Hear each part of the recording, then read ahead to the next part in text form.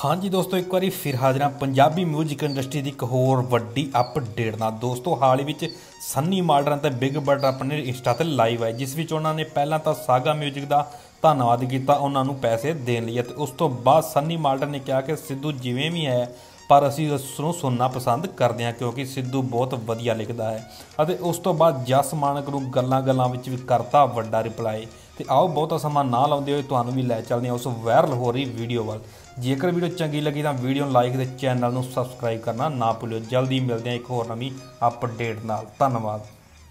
ਵੇ ਸਿੱਧੂ ਲਿਖਦਾ ਨਾ ਤੁਹਾਡੇ ਕੋਲ ਲਿਖ ਨਹੀਂ ਹੁੰਦਾ। ਜਮਾ ਬੰਦ ਕਰਤੀ ਉਹਨੇ।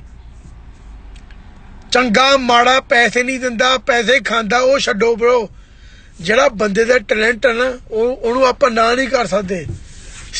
Bro, there is no artist like Sidhu I don't give a fuck if I don't like that guy I don't gi- I'm not biased that's my problem I think I have a problem because I'm not biased ਜੋ 30 second ਨਹੀਂ ਗਾਣੇ ਲੱਗਦੇ ਤੁਹਾਡੇ bro 30 second ਨਹੀਂ ਲੱਗਦੇ ਤੁਹਾਡੇ ਗਾਣੇ You guys all fucking suck, man. ਸ਼ਰਮ ਆਉਂਦੀ ਹੈ ਪੈ ਜੋ ਗਾਣੇ ਲਾ ਕੇ ਮੈਨੂੰ ਯੋ ਸ਼ਾਰਟ ਤੇ ਦਲਜੀਤ ਉਹਨੇ ਐਲਬਮ ਕੱਢੀ ਬਾਈ ਨੇ ਚੱਜ ਨਾਲ ਕੱਢੀ ਆ ਠੀਕ ਆ ਭਰਾ। ਬਹੁਤ ਵਧੀਆ ਲੱਗੀ ਮੈਨੂੰ। ਪੀੜ ਵਾਂਗੂ ਗਾਣਾ ਨਾ 20 ਸਾਲ ਬਾਅਦ ਵੀ ਸੁਣ ਸਕਦੇ ਆ। 20 ਵਾਰ I can listen to 100 times 20 ਸਾਲ ਬਾਅਦ ਵੀ ਸੁਣਾਂਗੇ bro ਠੀਕ ਆ। But bro, don't drive no fucking no butterfly shit around me, bro. butterfly.